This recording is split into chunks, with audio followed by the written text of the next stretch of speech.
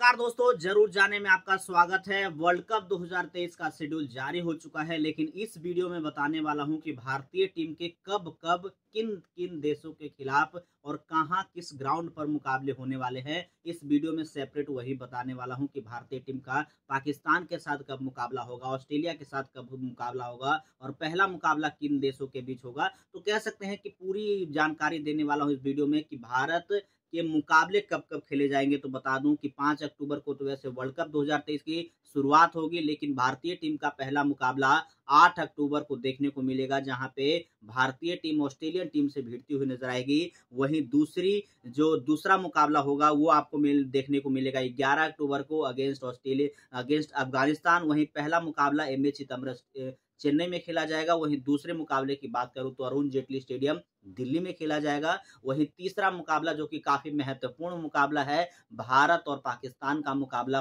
15 अक्टूबर को भारतीय टीम का तीसरा मुकाबला खेला जाएगा नरेंद्र मोदी स्टेडियम अहमदाबाद में।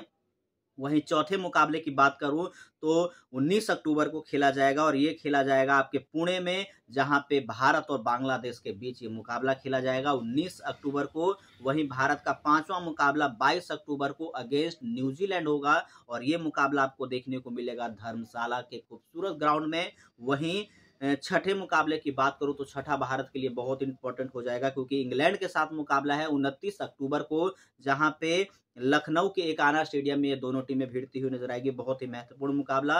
वहीं दूसरा जो क्वालिफायर टीम होगी, उसके साथ दो अक्टूबर को, दो नवंबर को, माफ़ कीजिए, दो नवंबर को भिड़ती हुई नज़र आएगी और ये मुकाबला खेला जाएगा मुंबई के वानखेड़े स्टेडियम में। तो ये भी कह सकते हैं, बहुत महत्वपूर्ण मुकाबला। वहीं भारतीय टीम का आठवां मुकाबला पाँच नवंबर को अगेंस्ट साउथ अफ्रीका होगा और ये होगा ईडन गार्डन, कोलकाता में। कोलकाता में बता दूँ दूसरा सेमीफाइनल भी खेला जाएगा। पहला सेमीफाइनल वांगखेड़े स्टेडियम में, दूसरा सेमीफाइनल ईडन गार्डन में और पाँच नवंबर को ईडन गार्डन में अगेंस्ट और साउथ अफ्रीका ये मुकाबला भारतीय टीम खेलती हुई नज़र आएगी। वहीं अपना आखिरी मुकाबला रॉयल चैलेंजर बेंगलुरु के ग्राउंड, होम ग्राउंड कह सकते हैं कि बेंगलुरु में खेलती हुई नज़र आएगी और ये क्वालिफायर वन जो टीम क्वालिफाई करके आएगी, उसके साथ भारतीय टीम खेलती हुई नज़र आएगी चिन्ना स्वामी स्टेडियम बेंगलोर में। तो ये बता दूँ आपको 8 नवंबर ऑस्ट्रेलिया के खिलाफ पहला मुकाबला 11 अक्टूबर अफ़गानिस्तान के खिलाफ दूसरा मुकाबला 15 अक्टूबर पाकिस्तान के खिलाफ तीसरा मुकाबला,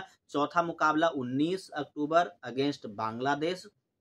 22 अक्टूबर को अगला मुकाबला, जो कि न्यूजीलैंड के अगेंस्ट, उनतीस अक्टूबर को अगला मुकाबला भारतीय टीम का, जो इंग्लैंड के अगेंस्ट, दूसरे क्वालिफायर वाली टीम के अगेंस्ट, दो नवंबर को, वहीं साउथ अफ्रीका के खिलाफ पाँच नवंबर को, एक नवंबर को ग्यारह नवंबर को आपको क्वालिफायर वन टीम के खिलाफ भिड़ती हुई नज़र आएगी। तो ये थी भारतीय टीम का स्ट्रक्चर, कैसा लगा आपको, भारतीय टीम क्या, कहाँ तक जाने वाली है वर्ल्ड कप में, कमेंट सेक्शन में ज़रूर लिखेगा फ़िलहाल इस वीडियो में इतना ही, धन्यवाद।